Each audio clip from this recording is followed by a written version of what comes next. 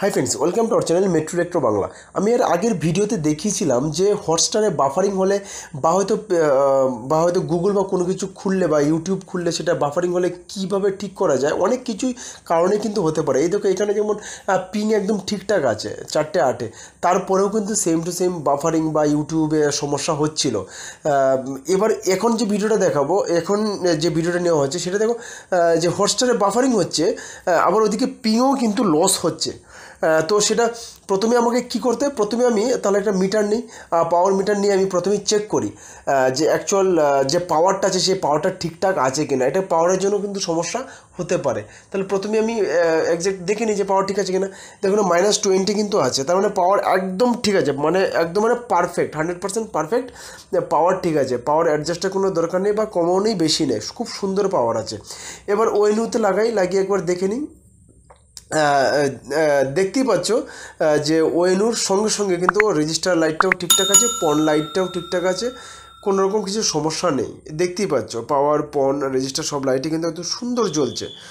কোনো রকম কিন্তু কোনো রকম সমস্যা নেই। তার মানে আমি একটা ধরে নিতে পারি যে ওয়েনু ঠিকঠাক আছে বা হয়তো বা যে পাওয়ারটা ঠিকঠাক আছে। তার প্রথমে আমি কী করব? প্রথমেই যে রাউটারটা ইউজ করা হয়, তার কারণ জানি মেনলি রাউটারের জন্য সমস্যা হয়। তার রাউটারটাকে আমি একবার রিসেট মারি। তো সেম প্রসেস আগের প্রসেসে কিন্তু রাউটার রিসেট মেরে কিন্তু কাজটা করেছিলাম। ঠিক হয়ে গেছিল সেটা দেখতেই পেয়েছিলে। এবারটাও সেম প্রসেসে কিন্তু রাউটারটাকে রিসেট মারছি।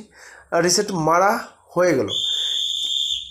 কিন্তু রিসেট মারার পরেও কিন্তু সেম টু সেম এই যে দেখো রিসেট মারার পরেও কিন্তু সেই টাইম আউটেই দেখাচ্ছে। তো রিসেট কনফিগার করেছিলাম। তো এবার আমি কি করলাম ওই নুটাকে একটা এক্সপোন নতুন এক্সপোন এনে এটা আমি, নতুন এক্সপোন আমি এসে এনে লাগালাম। লাগানোর পর লাগানোর পরে দেখা গেলো যে আমার ইন্টারনেট আবার ঠিক হয়ে গেল। তো দেখতেই পাচ্ছ যে নানা ধরনের কিন্তু সমস্যা হয় নেটওয়ার্কে নানা ধরনের, নানা কারণেই কিন্তু এই সমস্যাগুলো হতে পারে। প্রথম যে কারণটা ছিল, এর আগের ভিডিওটাতে কারণটা ছিল যে শুধু রাউটারটাকে রিসেট মেরেছি রিসেট মারা রিকম কনফিগার করার পর ঠিক হয়ে গেল। কিন্তু এবারে রাউটার রিসেট মারা বা রিকম কনফিগার করেও কিন্তু সেম প্রবলেমই কিন্তু থেকে গেছিল প্রবলেম কিন্তু সলভ হয়নি। এবারে কি করলাম? শুধু আমি ওয়েনুটাকে চেঞ্জ করলাম। ওয়েনুটাকে চেঞ্জ করার পরে কিন্তু সঙ্গে সঙ্গে লাইন ঠিক হয়ে গেল। তো এইরকম অনেক কিছু প্রবলেম কিন্তু হতে পারে।